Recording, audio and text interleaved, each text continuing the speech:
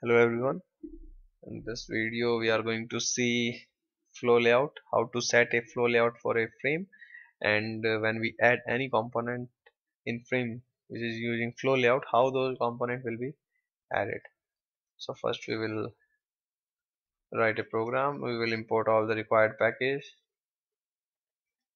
and another one we will need is awt package. And then we will create one class.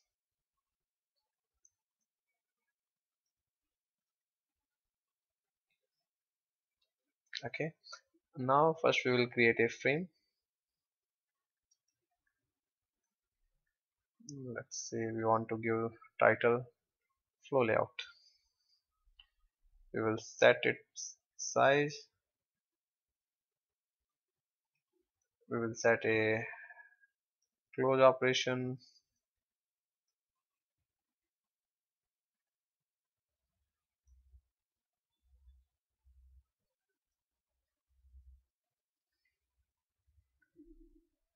so now by default every frame uses border layout. So what we have to do first we will create a object of flow layout. Let's say fl now we need to set this layout for our frame. So name of our frame object is jf so jf dot set layout fl so we have passed our flow layout object here. So this statement will specify that this frame JF will going to use flow layout as its layout manager. Now let's create some button. Let's say B and B1 B yes. And B1 no. And we will add these button in frame okay. After adding all the component we will set visibility of our frame. True. Now we will save this file. We will open command prompt and we will compile this program.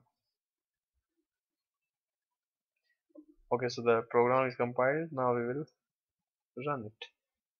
So how flow layout works?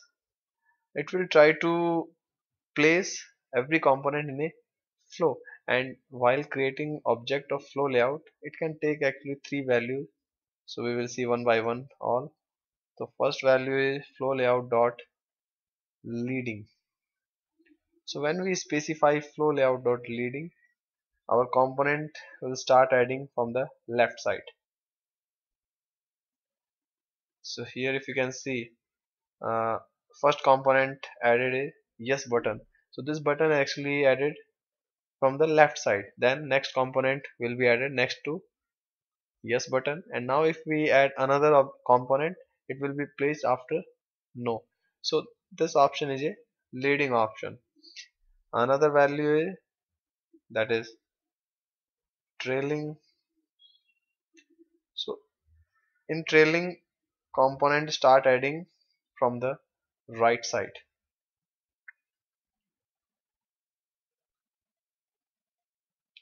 okay so first component was added in right side. So previously yes button was here but while adding no button yes button shifted in this side and then no button added here. So this one is known as trailing.